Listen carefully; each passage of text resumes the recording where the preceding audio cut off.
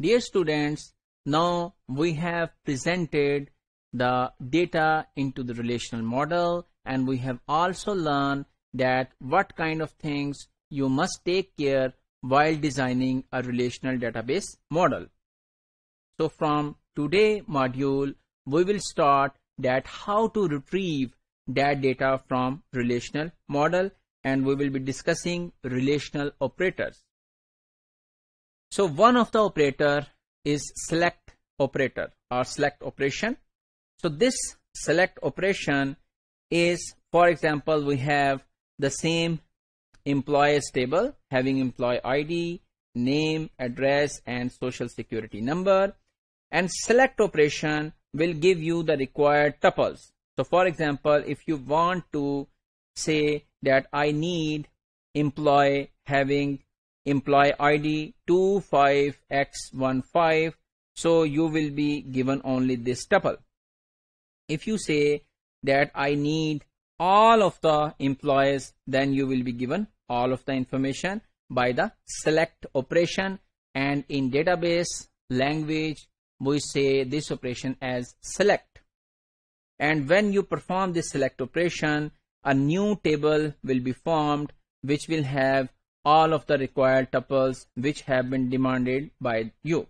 Then there is another operator known as project operation.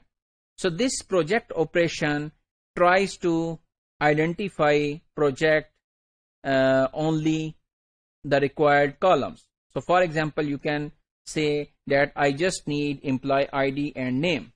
So I don't need address and SSN. Or you can say that I need, for example, name, address and SSN. I do not need employee ID. So whatever you want from this relation, limited number of columns, then you can perform project operation.